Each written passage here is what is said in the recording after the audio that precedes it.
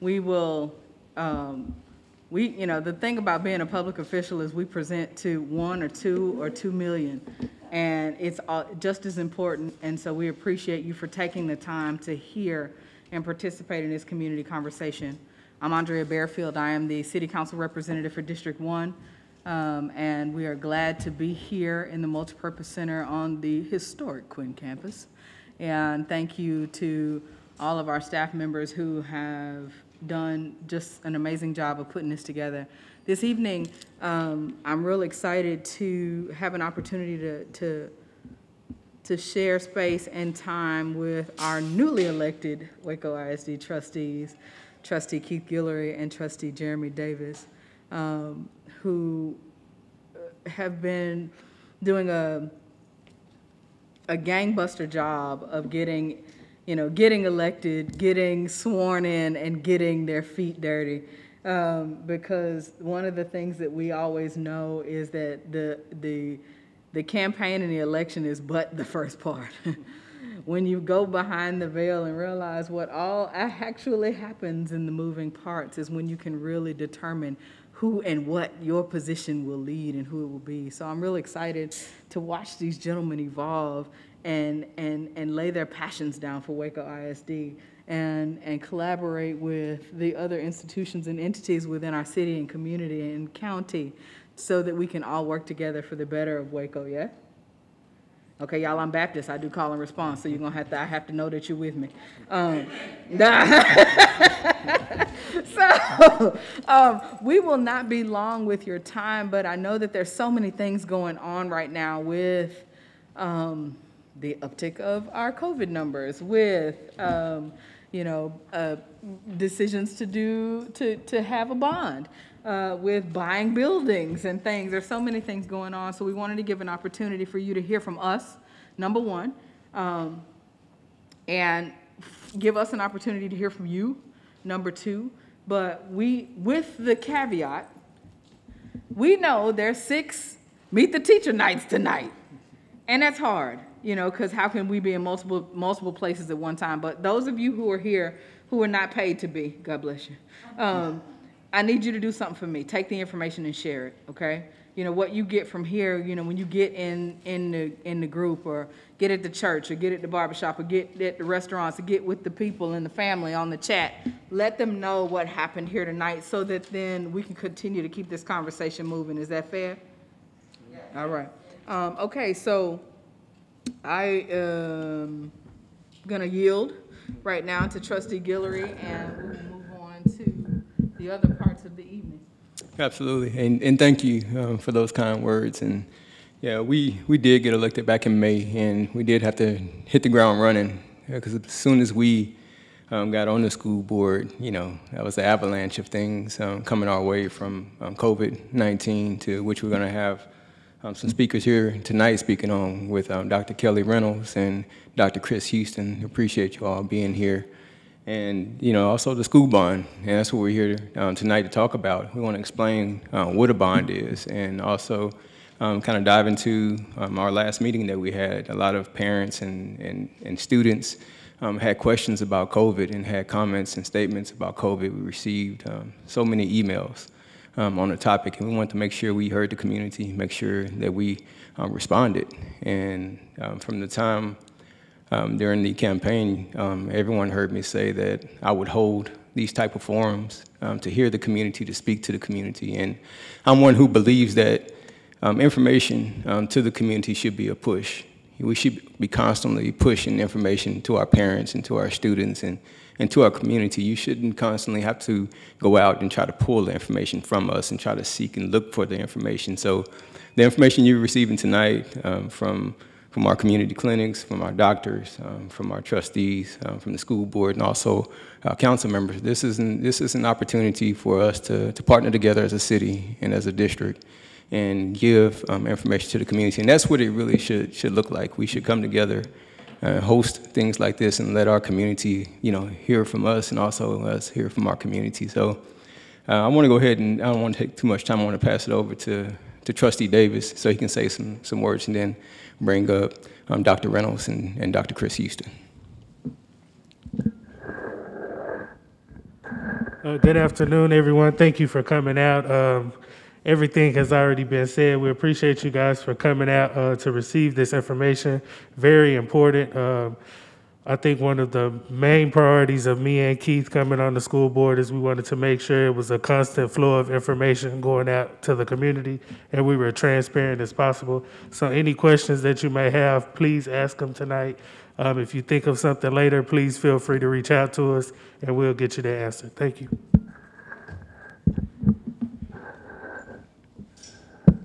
Let's bring up um, Dr. Kelly Reynolds and, and Dr. Chris Houston, Waco Family Medicine. And we're just gonna kind of talk about where we are um, from, from the science uh, of, of what's going on in our uptake of COVID-19. So we appreciate Waco Family Medicine for always being a willing community partner and standing with us as we move forward in this fight. So, ladies. Thank you very much for having us. Appreciate you uh, uh, having us come and, and talk to y'all. Um, So uh, I just wanted to, to start, um, this is an overview, you know, we always were. Oh, I'm Dr. Kelly Reynolds, and I'm the uh, Deputy Chief Medical Officer uh, at uh, Waco Family Medicine. Been there for about 16 years and been Chief Medical Officer uh, for about eight years. Uh, Family medicine doc, my clinic's out in McGregor, so still see patients out there a couple of days a week. So, you know, for years we were family practice. Oh, I'm sorry. I'm just so excited to talk about family medicine.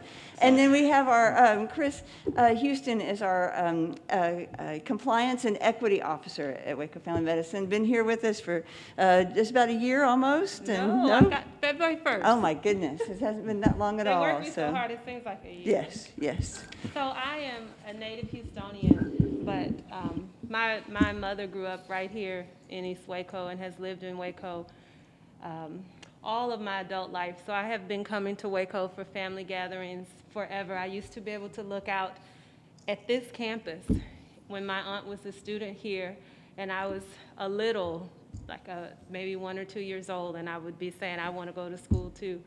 Um, but right across the street from here, when Paul Quinn College was here. So it is a privilege and an honor to be here today to share a little bit of information about Waco Family Medicine and, and other uh, pressing things like this pandemic with you.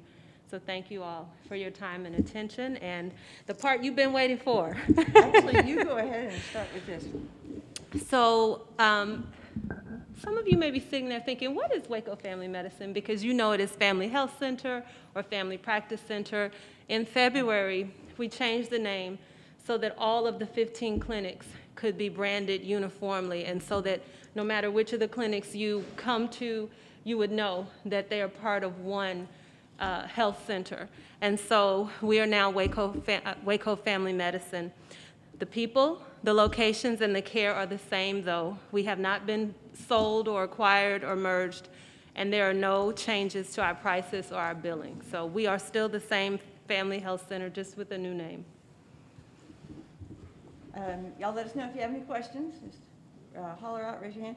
Um, And so uh, uh, the Waco Family Medicine uh, group of of of, uh, clinicians, they provide um, high-quality, comprehensive primary and and preventative health care that's medical, dental, behavioral health um, uh, across our 15 sites. And I did want to make a particular plug for for mental health. I mean, our um, behavioral health is is, uh, provided by a team that includes a PhD clinical psychologist, uh, some licensed clinical social workers who are integrated into the clinics, providing some behavioral health uh, to, to, with patients and teams, you know, right there when folks have their, their doctor's appointments. And then we've got a group of counselors um, that provide uh, mental health and behavioral health um, uh, counseling sessions on a scheduled basis. So we've got lots of different arms of our mental health, um, and mental health care.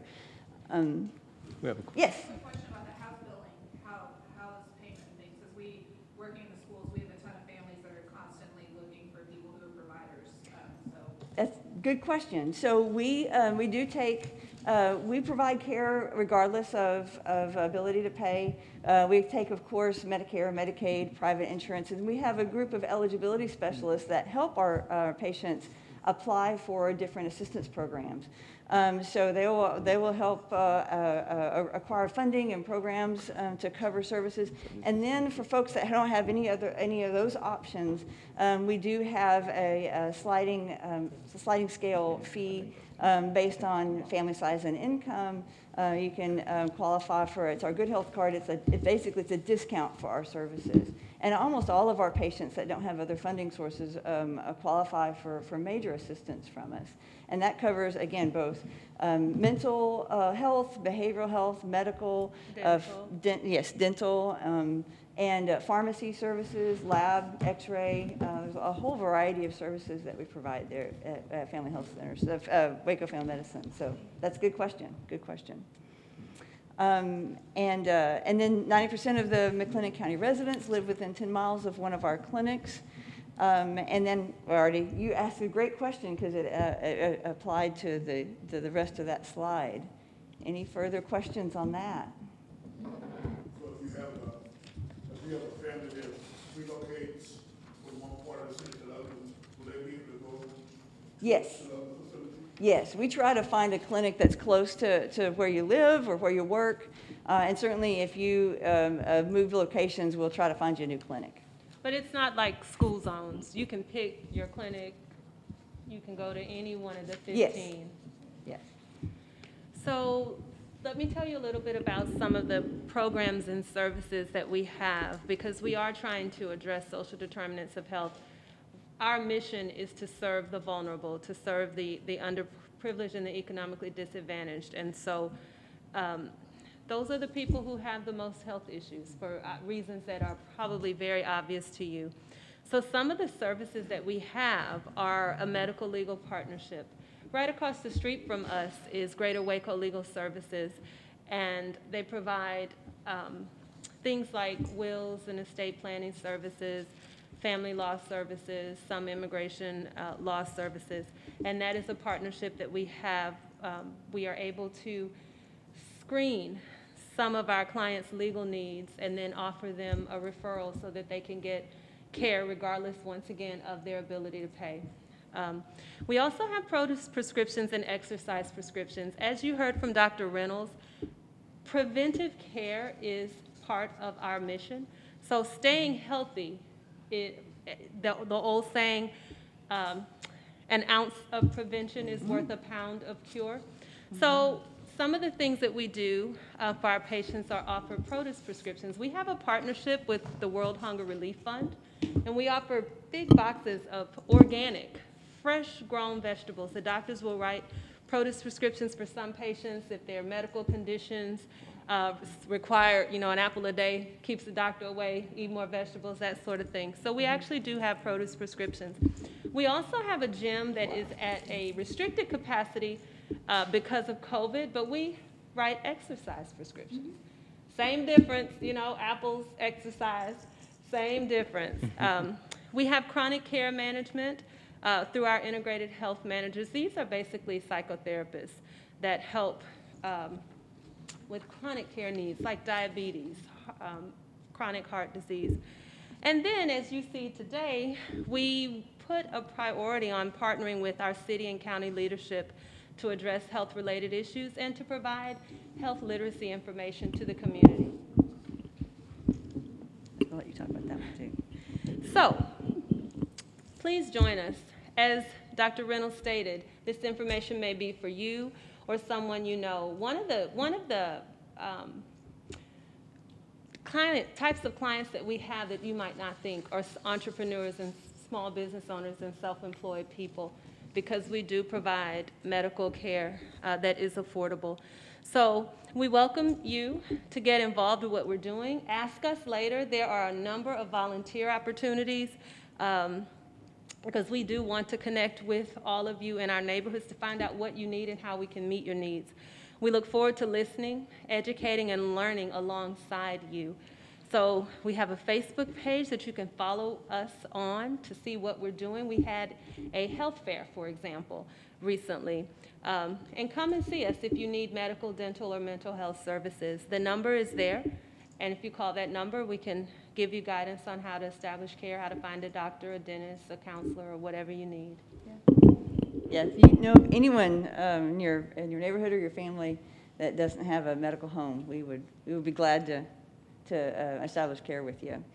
Um, And then just a couple of uh, uh, points about um, COVID. Uh, We are doing our COVID evaluations, COVID care um, outside and under tents. Uh, And um, so for Waco Family Medicine um, uh, patients, the, the COVID visit and testing is, is free if, if you don't have any sort of coverage, free testing. And then um, we have a COVID vaccine clinic um, two days a week during Tuesdays and Thursdays, and then Saturday mornings. Um, and again, COVID vaccines, of course, are free as well for uh, for our uh, Waco Family Medicine um, patients. Um, and then, of course, you, uh, to schedule e- either of these, just call your clinic or, or call our main number at 4200. I think that is it. What what questions does the group have? Dr. Henry? People who have insurance through their employers, are they able to come to you Yes. Yes, we are on most, I can't say 100% all, but we are on almost all um, health insurance plans as well. Yes. Did you guys hear the question? I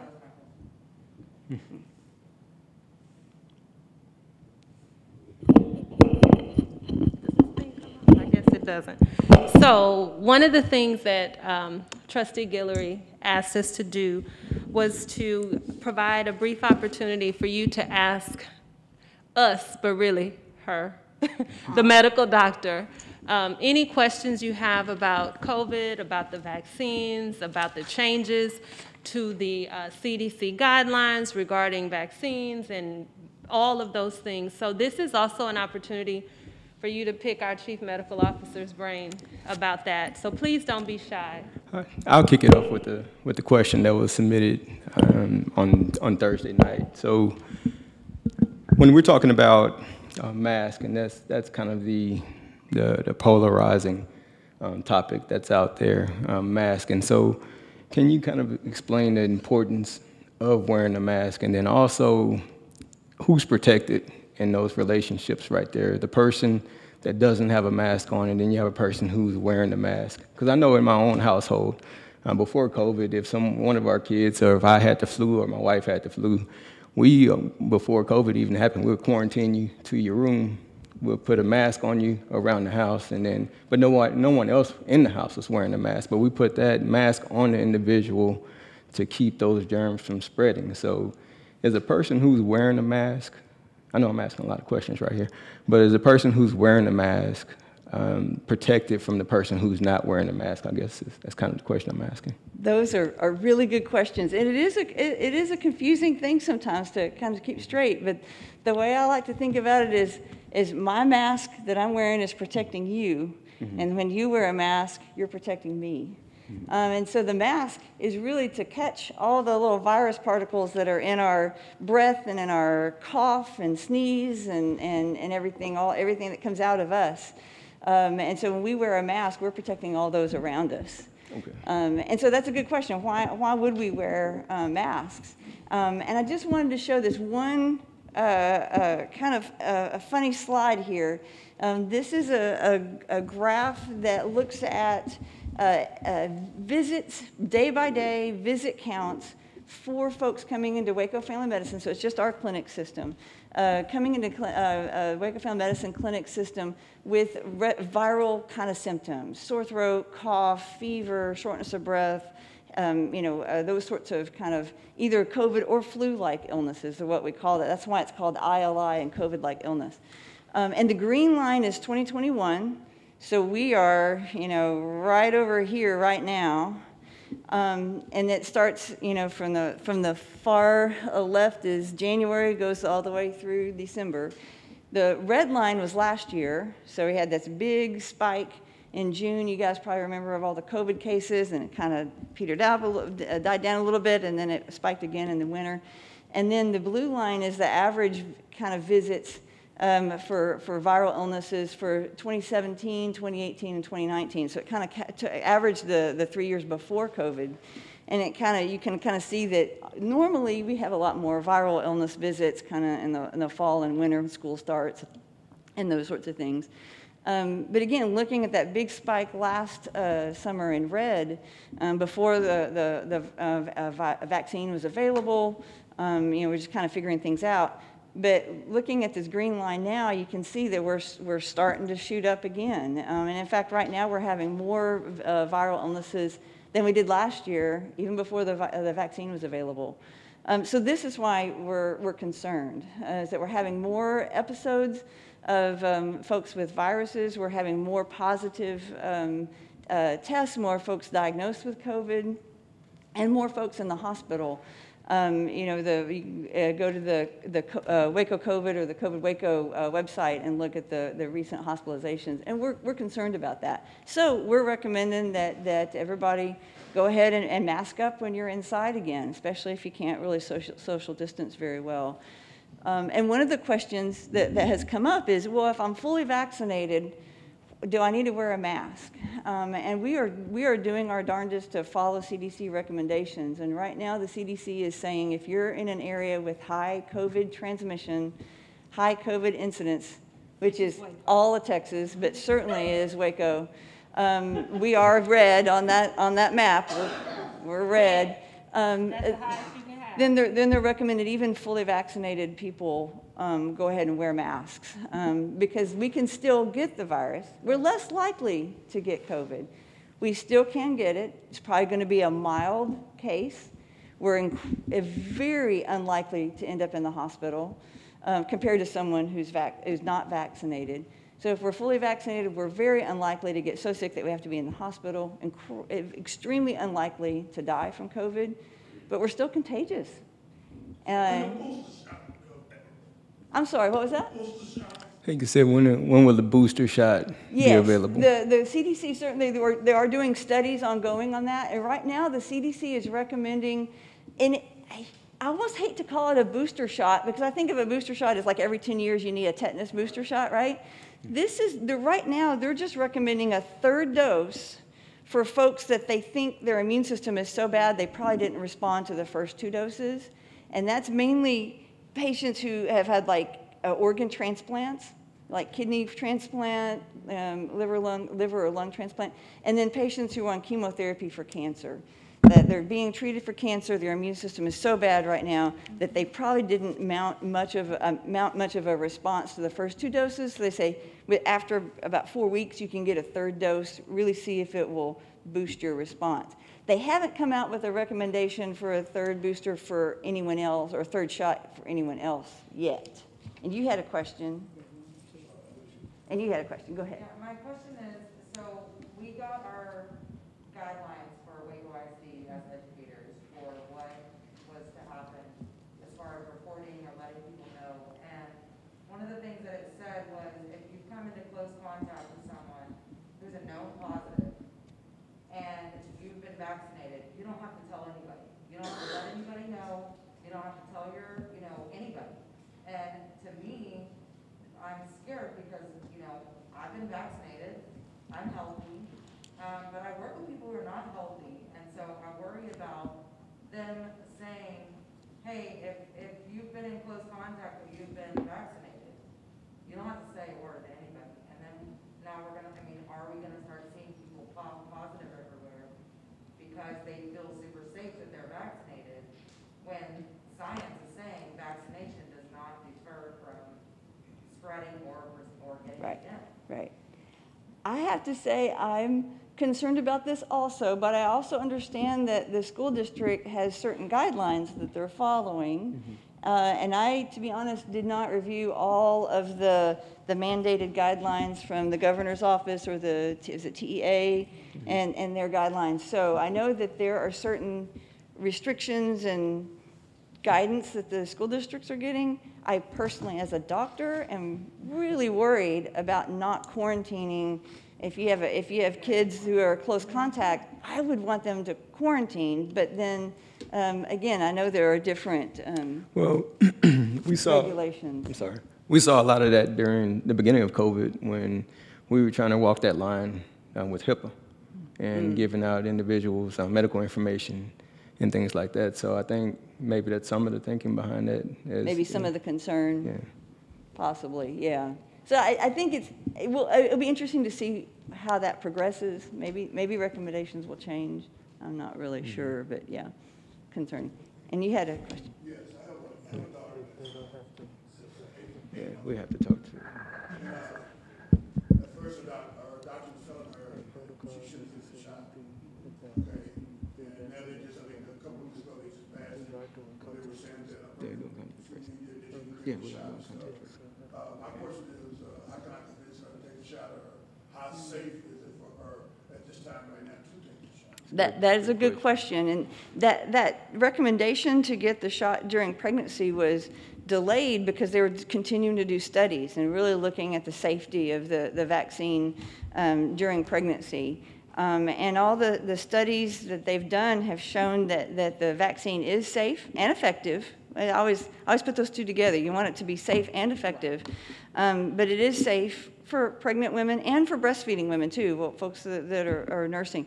Um, and the concern is that, that the, a COVID infection can definitely cause pregnancy complications. We've had um, uh, ladies that have ended up in the ICU on the ventilators and have, have died from COVID while they're pregnant. There, there's something about the COVID infection that actually uh, is more dangerous for pregnant women. So um, I would just say that, that the, the risk of complication from getting COVID while pregnant, while pregnant is uh, certainly a, a higher risk than any possible complication. And we don't know of any, any risks for getting the vaccine while they're pregnant.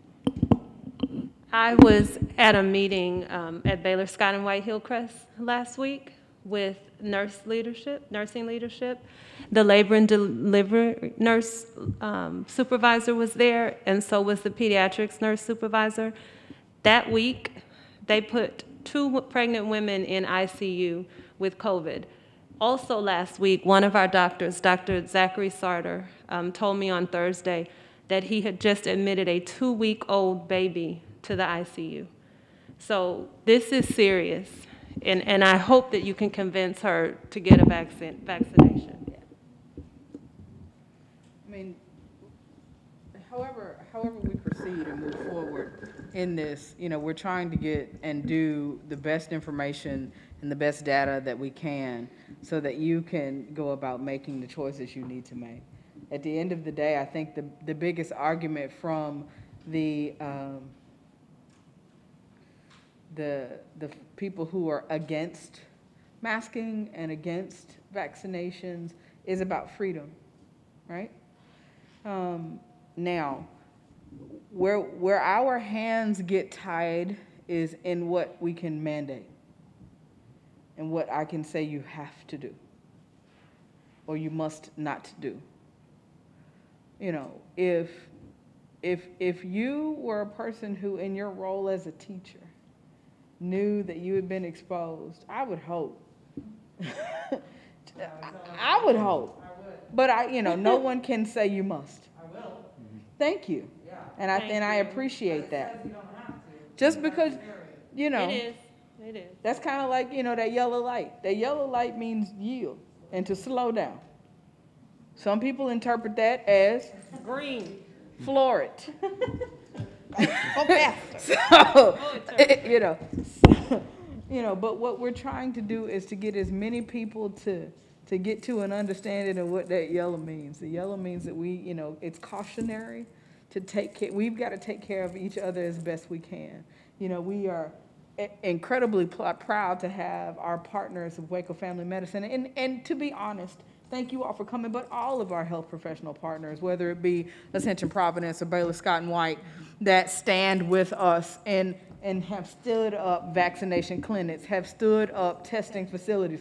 Thank you to the um, Waco uh, McLennan County Health District for, you know, realigning our testing sites, because we need them again our numbers are increasing. And so we've got to go back, you know, all hands on deck, much to the chagrin of those staff members who have been beaten up mercilessly for working basically 24 hours a day for 18 months. But we will do it because we've got to, you know, because if not a place to get a vaccine, a test, you know, right now, if you need a, a, COVID test and because they'll be stood, are they stood up? When will they be stood up this weekend? Um, thank you, as former, former chief, current uh, assistant city manager Holt. Um, uh, We're, we're getting those things back online, but the health district has uh, vaccina- um, vaccinations and tested, COVID testing available. All you have to do is call and, and set up a time and go. You know, Waco Family Medicine has a testing facility and a vaccination facility. All you have to do is call and set up a time.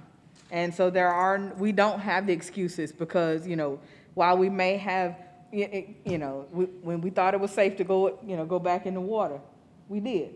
And, you know, we pulled the mass vaccination sites and things, but we may, hopefully, if we all get in agreement, we won't have to do that level again. But the fact that we can and that there are people who are at the ready to get it done is a good thing. And I, you know, extra thankful to, you know, you all and our staff.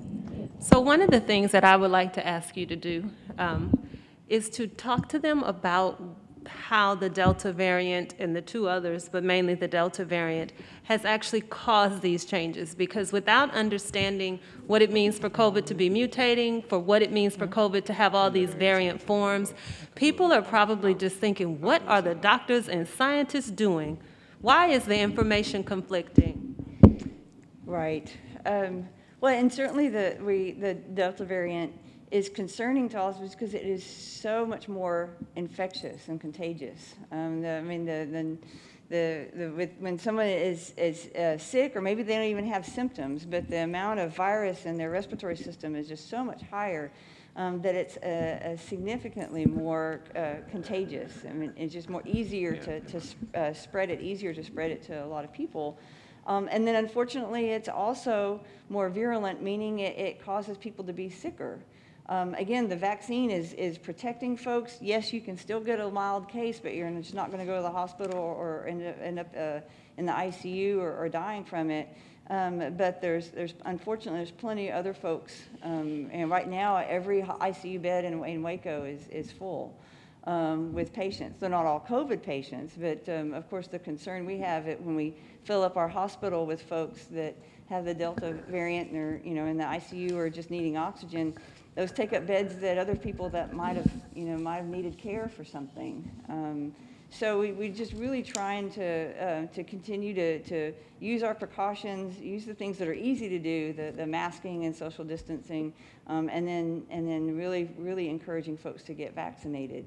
Even though this is a variant, um, we still feel like the vaccine is important um, uh, to protect to protect folks- from this this um, vaccine. And the more folks that continue to be Protect them unvac- from the virus. from the virus, sorry, yes, yes.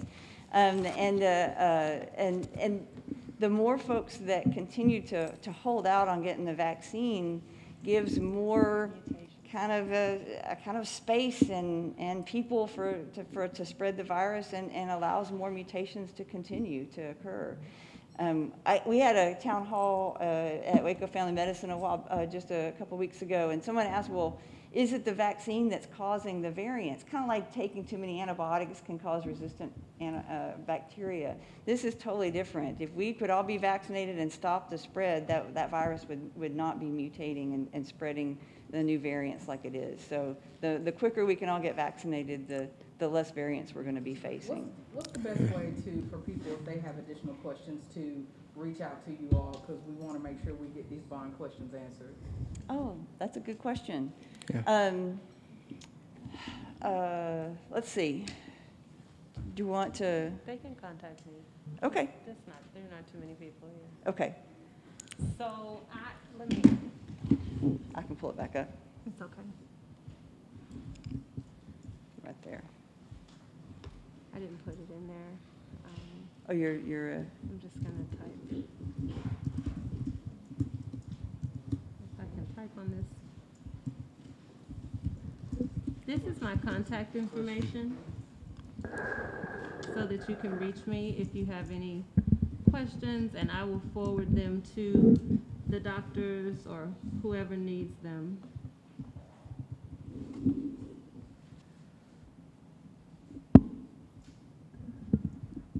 All right, uh, while, while they're putting it on the screen, I'm gonna go ahead and read some of our guidelines we've set as a district. Um, this was kind of put out last week during our meeting. Um, I will say that we do have a lot of things that can't be mandated that comes from the governor. We kind of have strict guidelines we have to follow, and I think uh, WISD has done a very good job of going to the line as much as we could. Uh, so, uh, and we're going to encourage the wearing of masks in all district buildings. We're going to encourage employees and students to get vaccinated when eligible. We're going to conduct contact tracing. We're going to notify parents and guardians if their child is considered to be in close contact for a positive case of COVID 19.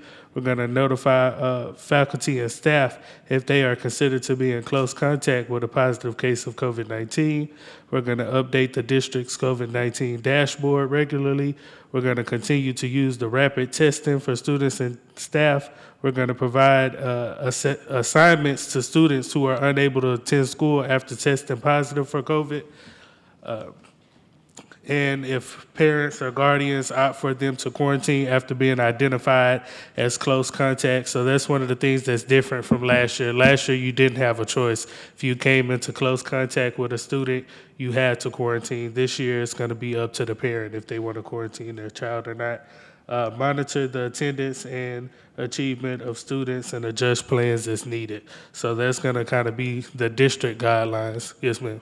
My question about um, protection for the staff that um, routinely have to go under quarantine and things. Last year, there was an extra ten days that was offered through the government to help offset that. Um, Once we ran out of that, it was up to us to use our own personal time. So without having this time built in from the government this year, is there any protection for teachers who are Yes, ma'am. I appreciate that question. Um, as far as I know, that we don't have that extra ten days built in this year. Uh, it's not a district decision, but as far as I know, that as of right now, we don't have those ten days built in like we had last year. So my personal message would be, everybody, please get vaccinated when you can. Uh, we can't mandate that your kid wear a mask, but you can mandate that your kid wears a mask if that's the choice you want to make. Uh, as staff members, you can wear a mask if you want to. We encourage it. We can't make anybody do it. But if, if that's something uh, we do feel strongly about, so we encourage you to wear your mask. We encourage you to get vaccinated and do your part to help the community. Hey, Thank you, Trustee Davis. And I want to thank um, Trustee uh, Stephanie Korteweg. I see you walked in, kind of snuck in on me. And thank you for, for being here tonight. And, and if, if anyone has any more questions on the, um, on the, on COVID-19, we'll try to answer those questions as well. But I want to shift gears uh, to the bond. Um, Another reason why a lot of um, people are here tonight, uh, we talked a lot about it in our last um, board meeting. And first, I always like to start off um, on what a bond is, um, because I know growing up, you know, a bond for me was um, something totally different than what you see um, when you're talking about a, a school bond. Um, so a bond, um, just, just putting it plainly, is a school district uh, doesn't have this big surplus of, of money like a, a lot of people believe. They believe we have this, this honey pot that we can, that we can dip into anytime we need um, something purchased, like especially big purchases. If you want to do the HVAC system inside of a school, or if you want to build a new indoor practice facility, or if you want to build a, a new school, um, like what we're talking about doing now, building five different, five new schools um, within our district. Uh, there's no pot that you can that you can reach down into and grab that sum sum of money um, to to make those purchases or or, or to, to to build those um, facilities. And so what you what you have to do is a lot like um, what a homeowner has to do when they want to build their home or purchase a home. You have to go and pull a loan uh, from a bank. And I don't want to get into the weeds talking about investors and them coming in and purchasing uh, the bonds. And but ultimately, um, that loan, just like your mortgage, um, has to be paid back. Um, and so that's where the taxpayers um, come in. Is is where the taxpayers are the are the individuals who are paying this bond back. And so this is why we put a bond forward um, to be voted on. And coming this May, we'll have a bond um, on the ballot. I'm sorry, yeah, November. November, we'll have the, we'll have a bond on the ballot um, to be voted up or voted down, and it's up to the individual taxpayers um, here, individual um, voters, to go in and vote for or against the present bond. And so when this um, last board meeting um, came about, uh, we all voted unanimously to um, pass this um, bond and put this bond on the ballot for, uh, is it 355, 355 million. Uh, and Trustee Davis will break down all the numbers, but I'm gonna speak on the reason why, you know, I chose to vote yes on the bond, and that was, um, it was right down the street from here. It was Carver Middle School. You know, I was, I was there that night, along with a lot of other students, and even teachers and, and principals, and the dean for Carver showed up, and Councilwoman um, Barefield showed up, and a lot of, a lot of individuals, ex-classmates. I talked to a, a guy today, Mr. Neal. He was um, the class of 1957, and he um, brought out his yearbook and was showing me pictures and of him at, at, Carver. You know, Carver used to house um, first through um, 12th grade. I think it had around 500 students at the time that um, went through that school, and he was one of them. He was in the second class, and he showed me one of actually one of the school board members, um, Mr. Cavill. He was a school board member at that time. He showed me pictures of him. So it's a lot of history there, and watching all of those individuals come through and and speak about what that school meant to them, and and I actually started my nonprofit um, in there, Lit Waco, where we went in. Um, Principal McAdoo was there. My wife and I in the back, we went in there and we used to read with the students in there. We had reading rallies and all these different things. So it was so much inside that school, and to and to watch it burn and and and sit as it does right now. You know, that night I had to vote yes um, for the bond to rebuild Carver Middle School. We need a new Carver Middle School, not one that was, um, you know, built um, like that, you know, the present one was, but we need a, a new, um, bigger um, Carver Middle School with the technology that our students need. And so that's, that's what I was looking at um, when I voted yes. We need a new Carver, and then we need a new Waco High as well. Um, if, you, if a person hasn't walked the halls of Carver Middle School and Waco High School, then you, you need to at least walk the halls of Waco High. You can't walk the halls of Carver anymore, but you can walk the halls of Waco High School. Um, we went there for the Family Fest this past weekend. And we went to universities first, my wife and I, my, my young daughter, she's at Lake Ed Montessori. And man, university, that school is amazing. All the technology is well lit, wide hallways, individual spaces for study, um, the newest, greatest technology, culinary arts. They have um, a new mechanic um, shop back there where you can work on vehicles. It's the latest and greatest. And then you walk over to Waco High School. And we wonder why our students feel the way that they do, you know, when we um, see them walking around our neighborhoods. And so these are the things that went through my mind. When we went to, when we went to Waco High, they had the, the old lion head blown up, you know, in front of the school that the parents can walk under. It was barely standing. You know, we went through the hallways and they were so narrow that you couldn't hardly get through there with the tables and the parents walking through. The school was very dim, not well lit. Uh, we have leaks and, and, and air conditioning systems, HVAC systems not working. So these are the things that I thought about when I voted yes for this bond. And so this is why we're coming before the community and we're bringing the bond to you to vote on. And there will be a tax, a tax burden there. We'll break the numbers down and it comes down. I think it comes out to about what ten, close to ten dollars a month or something like that um, for the family. And so, I really want to give those reasons why. I want to give a reason why I told a council member once before. I said, "Hey, whenever you vote, be able to tell people why you voted that way." And so that's why I came here tonight is to tell you why I voted that way. But at the same time, I want to hear from you and what you think, and also give you other options if you don't like this present bond and um, with the school district and also in the, in the, in the school board can look at. So I'll pass it to, to Trustee Davis. Uh, just to give a little bit more background on kind of how we got to this point. So, for about 10 months, we had a long range of planning facility meeting of about 80 people. So, every, I think every other week or every two weeks, we got on a Zoom call and we were presented with all this information. So, tours of each school, kind of uh, how it was compared to modernized schools, kind of what we had the budget for, how much it would cost to re- renovate the schools, how much it would cost to build a new school, and at the end of that long process, it was a, it was a process that I got to be a part of before I was on the board. Uh, the top five priorities were Waco High was number one, to build a new Waco High. Uh, the number two priority was to build a new Carver Middle School.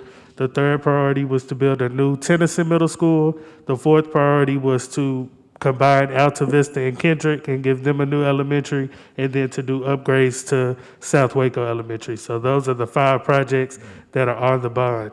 As far as, uh, I'll just kind of follow up with uh, trustee Guillory said, the reason why I voted for the bond is I've seen in action uh, the upgrades that needed to happen to these campuses. Uh, as a former WISD employee, I just stopped working for the district in February, so I was at Carver.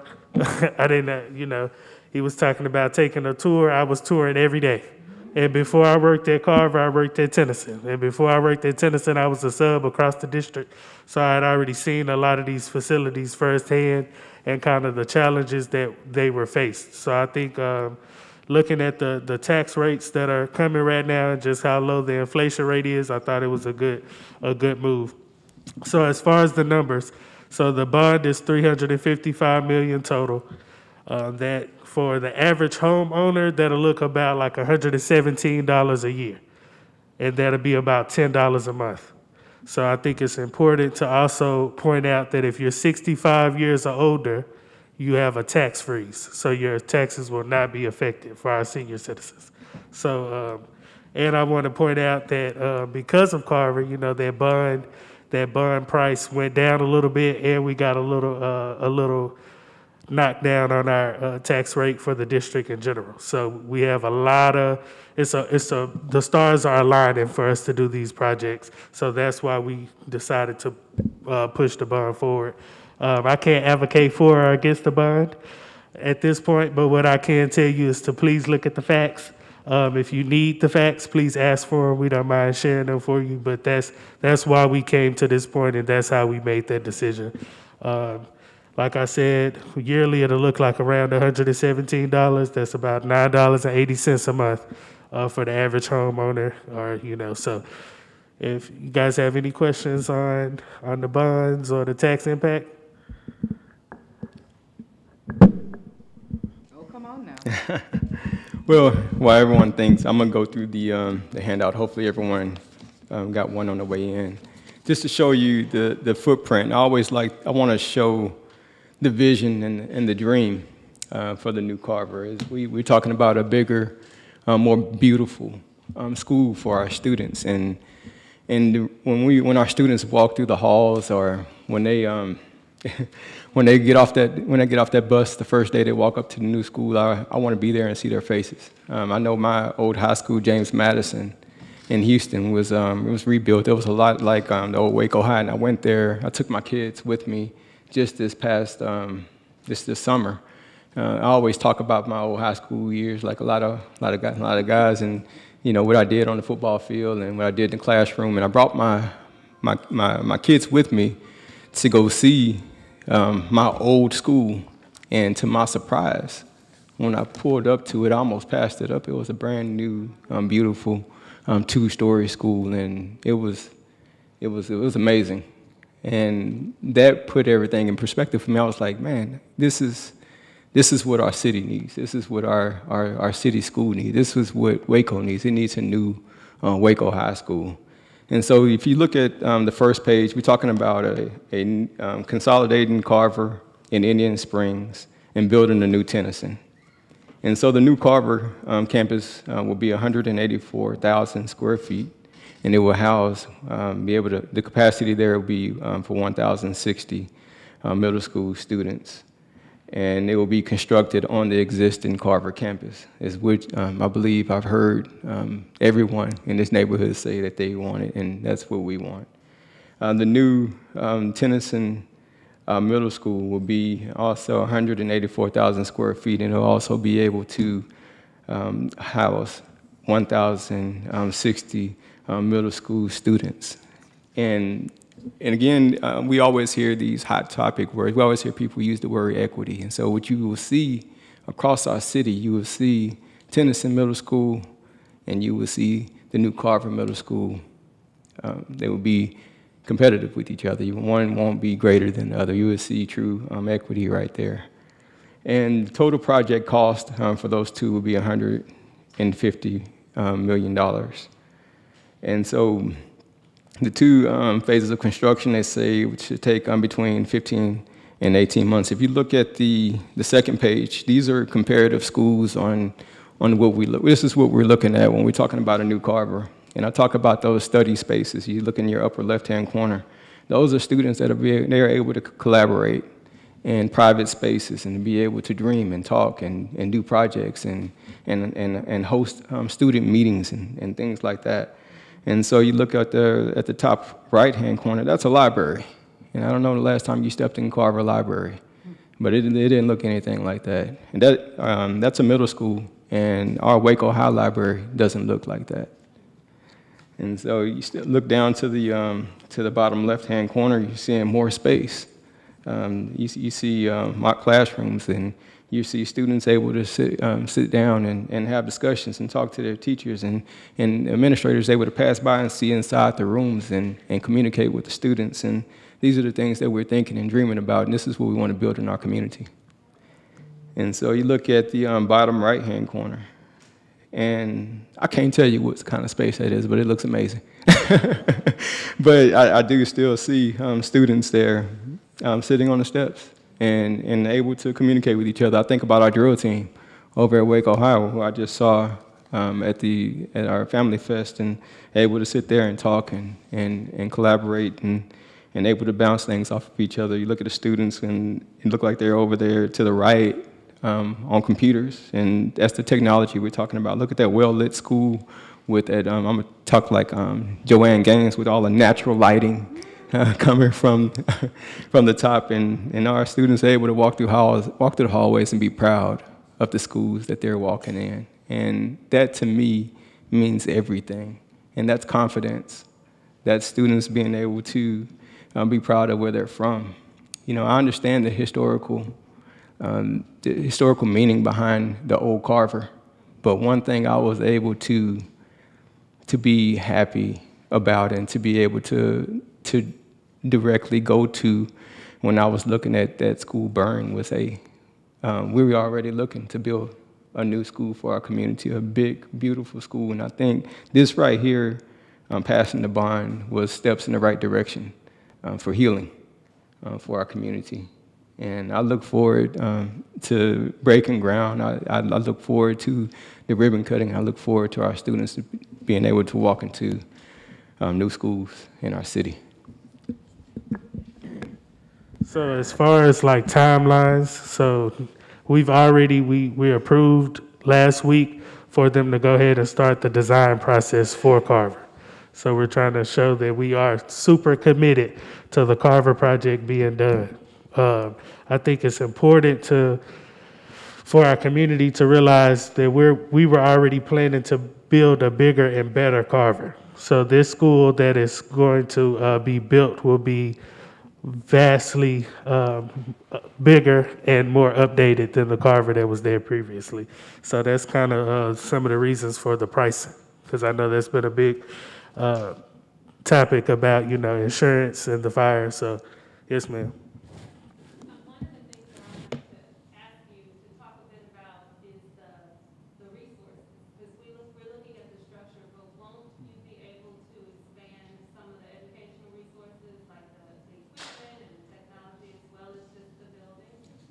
Yeah, so um, actually, we a couple months ago, we just were blessed with the ESSER funds. So the ESSER funds is basically a stimulus check that the district gets. So we're putting about almost $40 million into education. So everything from intervention, interventionists to help kids with pull out and reading interventionists from uh, new laptops, uh, new uh, technology in the hallways and in the classrooms. We're updating every library in the district. So the educational uh, aspect of kind of the upgrades had already been taken care of before the bond. So it was almost uh, nothing left to do after that part but to build a new school because we would have the updated uh, technology, we would have the updated libraries, we would have the staff that we need to help our kids more on a one-on-one basis. So it was kind of like the buildings was the last thing we needed to fully provide an equitable environment for our kids. Yeah, and And speaking, I'm gonna, I want to finish on, on, on the question here. And so we're looking at 73, let me see here, we're looking at um, $73 million to design, build, furnish, and equip the campus. And what you, what some of the highlights that I did write down here, I said it'd be larger classroom sizes and larger common spaces. Uh, you have um, more flexible spaces that can, that can be used for academic intervention and student collaboration, like we've been talking about.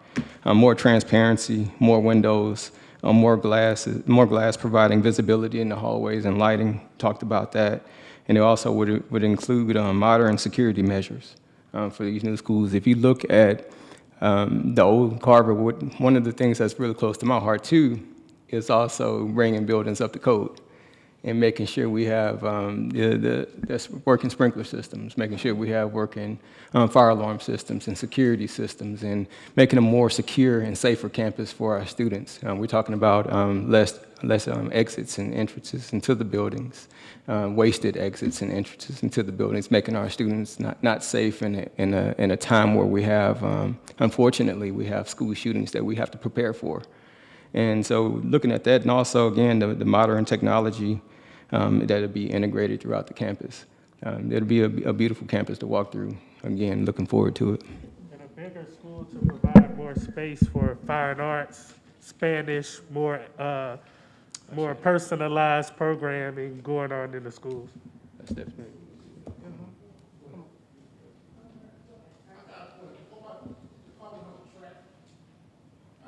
Yes, yes, sir.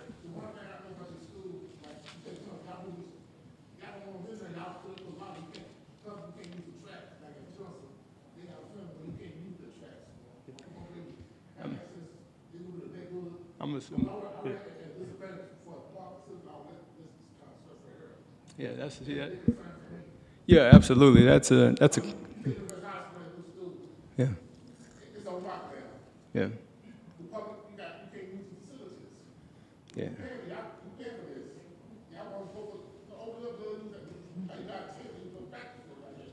Yeah, I agree with you. My, my son and I, we practice many days over on Tennyson football field. Yeah. Yeah. And you can see on the front page, um, on the handout, you'll see where they're, where they're gonna, where they're, um, attending to position the, the track and field and, yeah.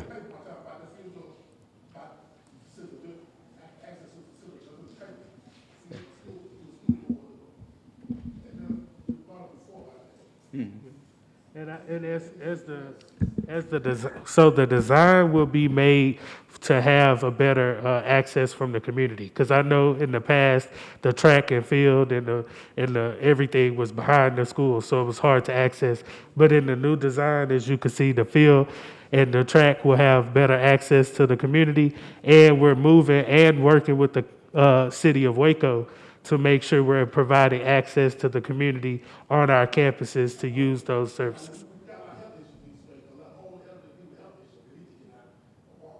Yeah, so, yeah, it's coming, it's coming for sure. It'll be there. Yes, sir. We're gonna go, we're gonna go here first and then I see you, sir. Go ahead, Stephanie.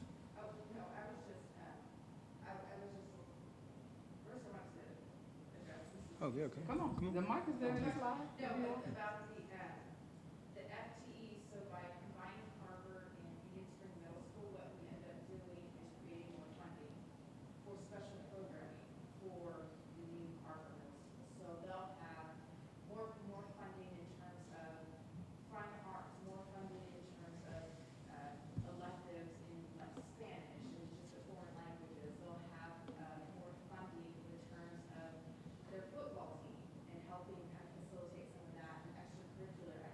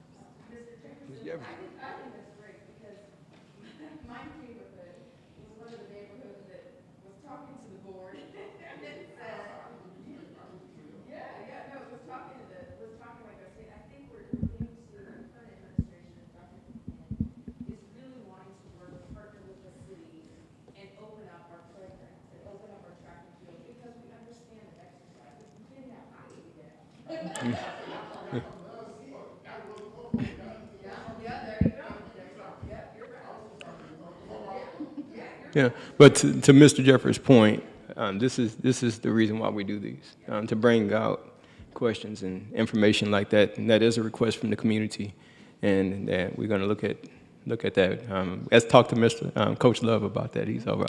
No, I'm- No, go ahead. Okay, we're, we're on this, uh, on this estimation of time and stuff. Yes. You know, for this other school to be built and everything. We really, really, realistically, you look at it probably, probably about three years before the school actually goes up and operating and stuff. Yes, sir. And for the, for the kids in this district over here, they will all be bused to Indian Spring Park. And if they are bused, do they have the opportunity to go to another middle school other than Indian Spring Park? So they do have an option to go to another middle school, so they would have to put in a transfer. So that the transfer could be denied, but you do have the option to put in a transfer. You will have transportation for the kids that go to Carver that'll be at Indian Springs this year. We will have buses to transport those kids back and forth as needed. As far as the timelines, so Carver, the planning to start next month, and then the whole school should be done by 2023. Summer 2023, uh, the school should be built, and fall 2023, students should be walking in the door. Now, that's if the bond passes in November. That's the timeline. As far as Waco High, Waco High finished in 2025. Uh, South Waco will finish in 2024, as well as Tennyson, and then Kendrick will finish in 2025 as well. But as far as right now, if we, with our timeline, Carver should finish first, and that'll be in 2023. And then that's when all the kids from Carver and Indian Springs will be at the new Carver building. Any other questions?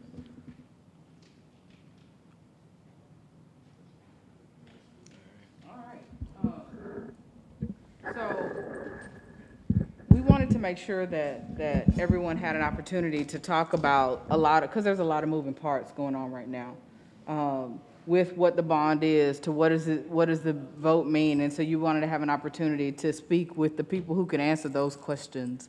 And we are so grateful to have trustee Davis and trustee Guillory um, on the panel, the uh, support of trustee Korteweg in the audience, and a lot of our, our, our community leaders and, and city staff. Um, So regarding District One, um, we've, we've, we're, we're making some changes and doing some things. And I wanted to make sure if there were any questions about the recent acquisition of, uh, or, per- or the, beginning the process of purchasing the Doris Miller Y, that we were here to open and answer those questions for you.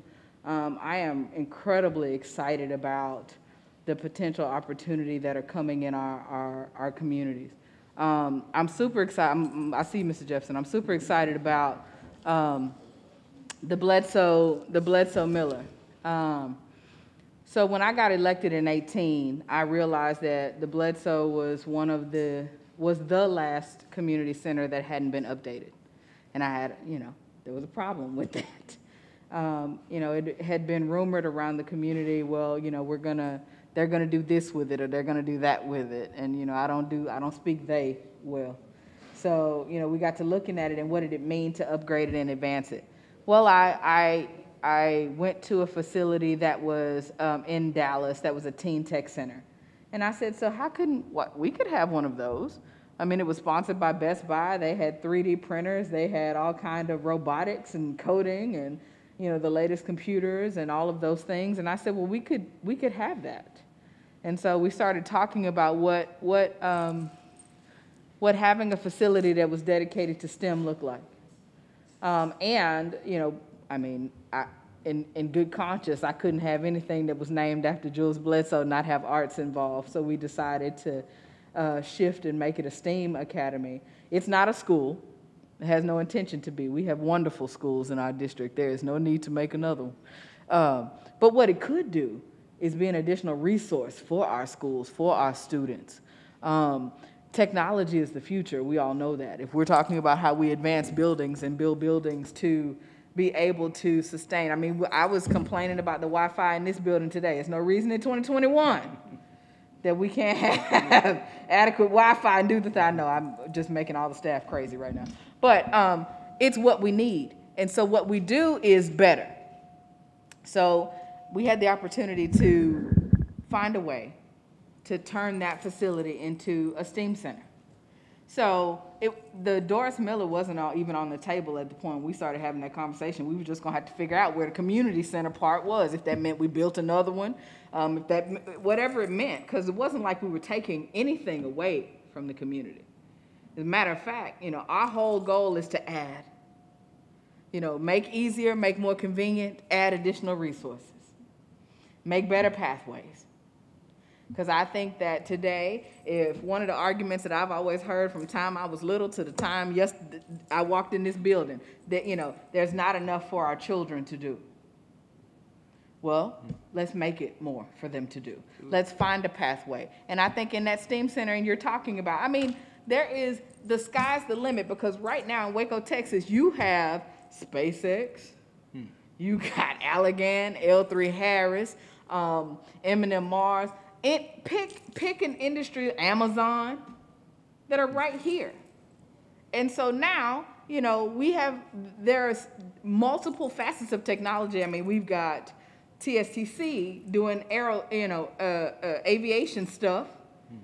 You, they've got the Challenge Center out over there that were, is partnering with NASA. We've already got the pieces to the puzzle. Let's get them all in the same box. And how we work together to do that. And we find pathways for our children so that way, if they're interested in robotics, that way, if they're interested in engineering, that way, if they're interested in biology, we need some more Dr. Reynolds. And so we've got to find a pathway to do that. You know, we children can only be what they see. So if we put it in front of them, then that means that we have an opportunity to do more. Um, and that's kind of what the STEAM Center will do. I think that, you know, I'm, I'm very pleased to see my minister, uh, Dr. Hunter here, but he is a brilliant musician, right? And so here's the thing, because again, we got that A in there. I think what happens if you do sound engineering in the STEAM Center? You know, what does it look like if somebody, I don't know if, if anybody knew anybody who was in the recording industry built a studio? Mm. I mean, I don't know. I mm. mean, on this table, I think, you know, probably three of us at this table know people who are in the recording industry and can do that. Mm-hmm. Um, and, and, but in order for you to be able to record, you've got to volunteer, or you've got to do so many classes in the STEAM Center. You've got to do so many things. You've got to pay it forward. There's not a cost for you to record, because, I mean, you don't know, I don't know who the next whatever is. Mm. But the fact that the possibility is there, that's what we're looking for, and that's what we're looking to do. So my challenge right now is to keep myself in, in my own bubble and not just break out of my skin because I'm excited about getting it done. Uh, but gathering the partnerships which we've already begun. We started talking with Waco ISD. We started talking with La Vega ISD so we can show them what the possibilities are for our students going forward. These are after-school programs. These are spring break academies. These are summer schools. These are midwinter break uh, sessions. That's what this is. These are uh, field trips. That's what this is. You know, but you'll have that right here along the Brazos in the beautiful Bledsoe Miller Steam Center. No names are changing. And, you know, with the sale of the Doris Miller Y, we had an opportunity, we saw an opportunity to keep a, um, an anchor institution within our community. We saw an opportunity to not let chance go. Because, you know, the Ys all across the country have had to shift in their financial model. You know, it's not just this one. And so, you know, our, the Y, the members of the Y, the board of the Y, leadership of the Y decided the best thing to do would be to merge with Williamson County and sell some of their assets. You know, City of Waco had an opportunity to step in and say, hey, if, if we do that, which we're not done yet, we haven't closed, okay? the- We don't close till mid-September-ish.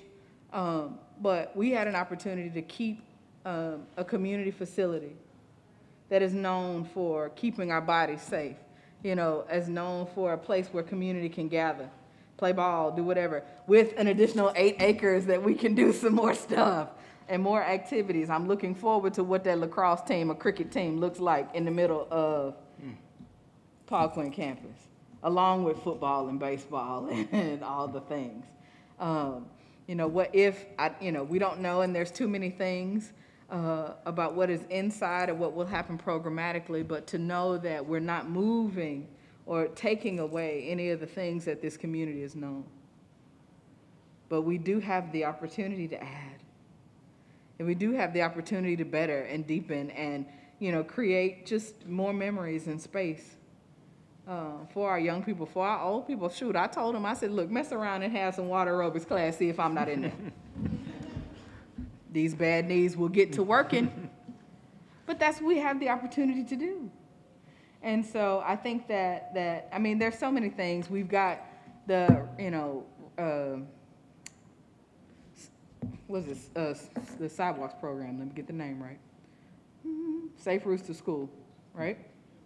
Um, that's going on right now. It is so inconvenient, all the construction, but it'll be so much better that there'll be a safe sidewalk for our babies to walk on. And I don't, I, it, it, yes, I'm inconvenienced for a little while, but they'll be safe for a lifetime. And I'm okay with that. Um, you know, we, we can't complain about change when we demand it at the same voice. And we, in order for it to get better, we got, you know, we got to break it up. we got to break it up in, to, in order to fix it. And I think that's what we're doing. Um, we are, this is the first, and I'm giving y'all the fast forward version because we, we've already 12 minutes over what we have had agreed to keep you to. And I want to make sure you have an opportunity to ask any questions of me for the city. But, um, you know, we, we are doing a lot. We're in the middle of budget season, so I, I encourage you tomorrow, uh, starting at 2 o'clock with the work session, 6 o'clock for the business session. If you have questions about city council, join us.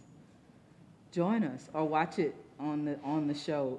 Give me a call, send me an email if you've got questions about what are happening. We're in the middle of the budget. We've got a whole bunch of pots, a whole bunch of buckets for um, the American Rescue Plan money. We're gonna see what happens with the infrastructure money. But at the end of the day, with your tax dollars, we are doing the work that you have asked us to do. The one, and never mind art, never mind infrastructure, because, you know, some of it, that's, that's plus, that's, that's cherry. With the, you know, this is the first time we've not had a, we've lowered the tax rate since 2014. We're, we're getting that, we did that this year, even with COVID. Waco was one of the first cities to recover to uh, pre-COVID sales tax numbers in the state. You know, I don't know how we did it, but we did it, and we did it with you. Um, and we're going to continue to do it because we're going to better our future. We're going to take care of each other now. Cue the mask. Um, you know, and do all those things to keep going and carry on. So uh, I know Mr. Jefferson has a question because I love Mr. Jefferson. Mr. Jefferson always have questions. So you know what? We gon' well, so the, there's two, right? I, I know. I know. Um, and that's one of the things that we're talking about. So the truth is, I don't know, because there are two pools. There's one that's outside that we don't know what kind of damage is sustained in the freeze. We just don't know. The one that's inside, I mean, there's a pool inside. I mean, I, I, I'm, I'm gonna be hopeful, but I cannot promise. But I'm gonna be hopeful. And I said, I said, if, it- you know, if we gonna be, I'm gonna be in there with the water aerobics class with the senior minister. I already said. Mm-hmm.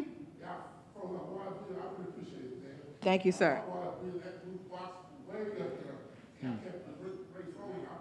Thank you. And I, I did, I passed your note that you sent on to staff because we, and I appreciate you reaching out to us because everybody doesn't say that. And Alton Jefferson did say that. He, he called me to tell me what, what was wrong. He called me to also tell me when it got fixed, and we appreciate you for that.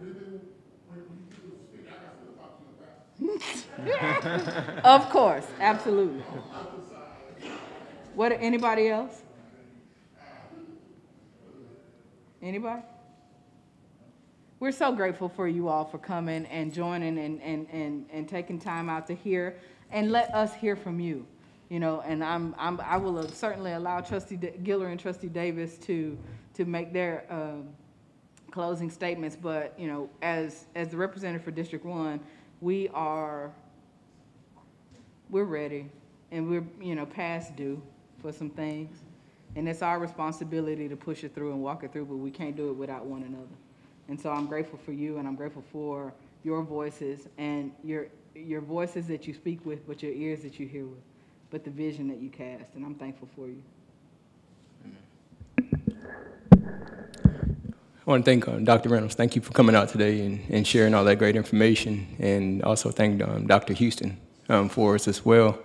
Uh, it's, it's a it's a great time here in Waco. It's a, it's a beautiful day here in Waco, and we see all these new um, these schools and and uh, STEAM centers and and you know the, taking over the YMCA for the city and, and making these um, amazing opportunities for our young people uh, to get plugged into different programs. And you've heard us talk over the summer about making sure that our young people um, have places to go and, and study and, and, and get signed up for different types of um, sports and, and activities and things like that to keep our, our young people out of the streets and, and put them into places where they can, where they can, they can, they can engage um, each other in a different way and, and learn and grow. And so that's why we're here today to, to talk about um, all these new great things that's going on in our city. And I'm excited and hope you're excited. Uh, it's, a, it's, a, it's a good day to be awake on. I'll just end it by saying, you know, thank you guys for coming out. Uh, it's very important. Uh, one of the things that was near and dear to my heart as when I got sworn into the board was making sure we have settings like this to talk to the community, to hear back from the community, and take it to the board to do what we need to do. So, uh, like uh, Councilwoman Barefield said, we hit the ground running as soon as we, we were sworn in on the 13th. Uh, we got hit with a lot, but I think we've been doing good. And uh, I definitely will just encourage the community to keep showing up. Please keep calling. Please keep giving your questions.